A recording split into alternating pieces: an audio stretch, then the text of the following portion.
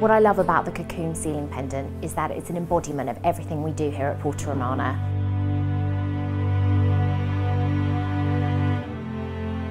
The kind of initial process for designing the cocoon started with looking at natural architecture, the geometry of nature and its natural forms.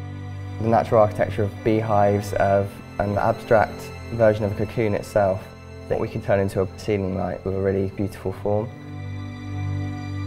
So once we came up with the idea for the cocoon, it was trying to turn it into something that we could actually get made by our makers.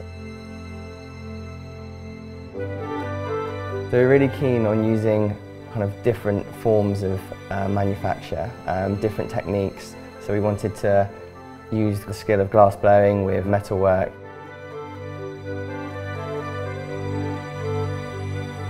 Technically, we had to start with the 3D shape really and work back. The cocoon itself is a very natural form, but we needed to work out of a way to make it from a very 2D surface.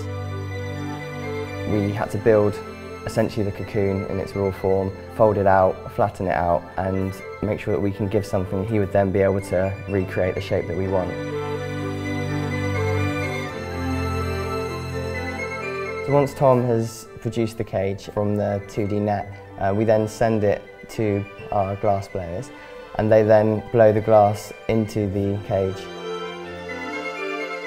It's the combination of these two materials which really make the cocoon what it is. The results that we got from our glass blowers exceeded our expectations really. Once that product comes back to us, it's time to put the finishing touches to it and that happens at our in-house workshop. The workshop team size and leaf the cage, even with the glass in it, which is a very delicate and intricate process.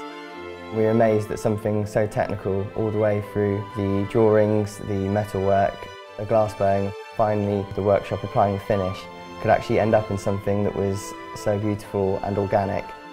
And it fit perfectly into the Elemental collection.